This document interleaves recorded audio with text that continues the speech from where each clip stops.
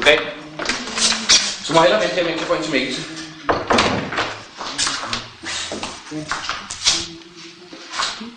Nå, åh, goddag. Lige øjeblik, så skal det også den. Ja.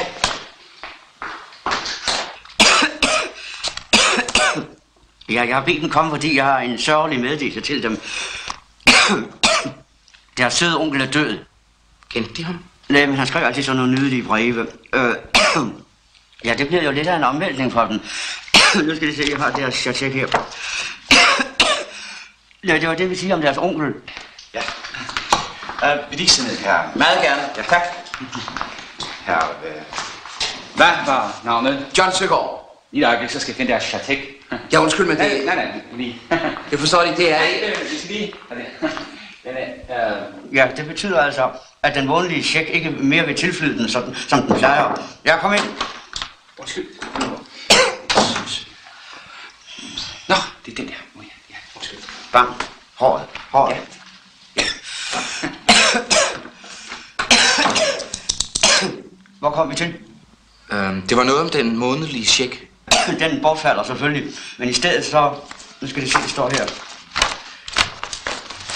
Jeg synes lige, at... Øh, Ja. Ja, jeg må forberede dem på et chok. Deres onkel er død. Oscar død?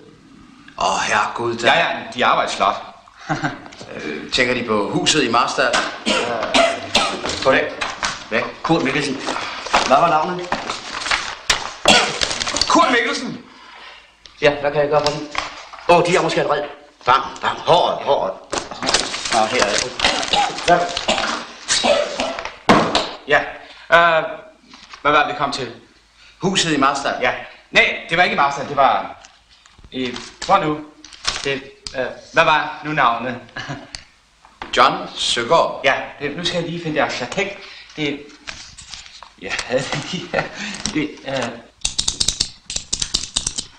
Nej, tak. Hvis jeg ryger, så får jeg bare sådan en hoste.